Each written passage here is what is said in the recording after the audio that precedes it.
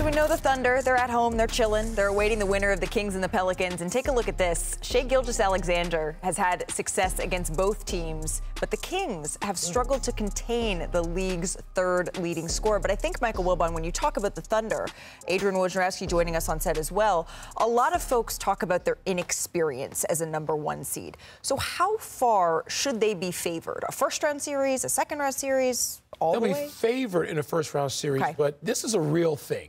In the NBA, I think more than any other professional sport, experience matters. You see young teams come in with a lot of talent, and they are going home heartbroken. Not just having lost, but usually crushed. Some seven game situation. Look at Sacramento last year. They got game seven at home, and Steph puts 50 on them, and they are heartbroken. And it's like a hangover for, the, for most of the next year. That's what you see. The NBA is characterized by that.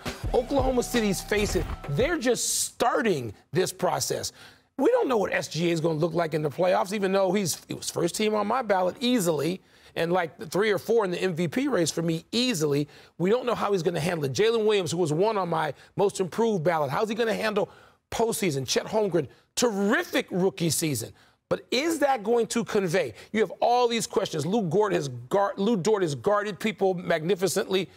Is he going to be able to do that in the playoffs? So all these questions exist about OKC, and we start to answer them this weekend.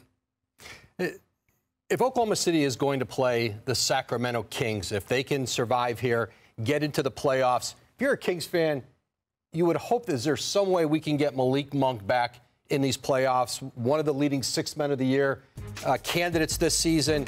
Uh, he's out with an MCL sprain. Essentially, for, he has not started to run yet in Sacramento, I'm told. I think the hope is, and maybe even something of a long shot, could they get Malik Monk back by a game six or a game seven? That would be the earliest. That'd be about a month. But they're going to be careful with Malik Monk in Sacramento. He's a free agent this summer. They want to re-sign him, and they want to make sure they handle this the right way with him. Right, and that's something that they could be facing uh, if they face off against Oklahoma City in the first round. But Oklahoma City is a, a long-term team here, Stephen A. They're not a team that they necessarily put together hastily. But when you look at the rest of the West, there are some teams that fit that criteria. Which group do you think is under the most pressure? Because OKC, it feels like, is playing with a little bit of house money here. Well, it's, uh, to me, I, I look at the Clippers. I really, really do from the standpoint of Paul George, Kawhi Leonard, um, uh, uh, and of course James Harden, as I articulated. They're going to move into a new arena next season. You got a billionaire that's been clamoring for, the, for some level of success. Kawhi Leonard, by the way, and I'm going to say this again. I've been saying it for the last two days. I want to hear about him on Team USA. You know what I'm saying? You- You're wondering about whether he's going to be available for these players right now. You know, you know he's going to play, but still in all, he's not 100%. I don't want him playing. I, I, I- I don't want him. I don't want him cleaning his own damn room for crying out loud. I want him on the basketball court, whatever it takes to have him on the basketball court. Because when he's on the court, we know what a superstar he is. We know what Paul George can be, and if James Harden is what I think he should be, mm. the Clippers got a chance. You said something earlier today, right? When the Phoenix Suns traded for Bradley Beal, would it most have them right there alongside who? Denver. Oh, Denver. Yeah. Well, what happened? The expectations are not there anymore? Yeah, they're there. And when you have a big three and you're top heavy and you go all in to be top heavy, you got to get it done. We're talking about three of the most prolific, efficient scorers to ever play the game of basketball. And KD, D Book, Bradley Beal.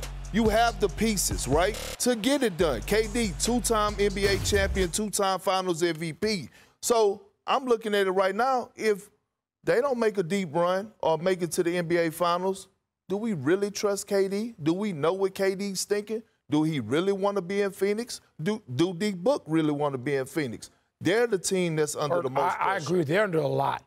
And they got to go through a team that is built sort of to defeat them. We're talking about offense, defense, classic matchup here with Minnesota being the best defensive team, arguably, in the league.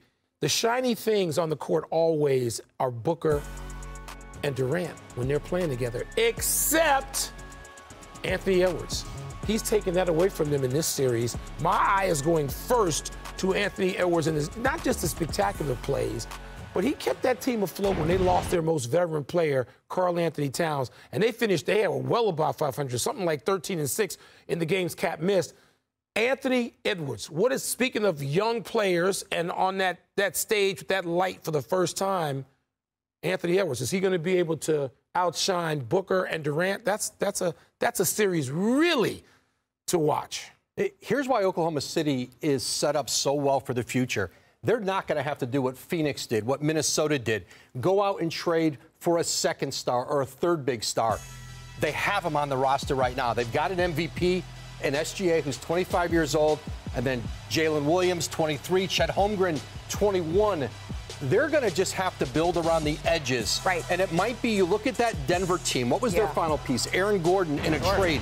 It might be something like that. And when Oklahoma City, whether it's next year or the year after, decides they have to go make a deal because they want somebody, they'll get whoever they want because they have more yeah. assets than anyone in the history of the NBA has accumulated. Yeah.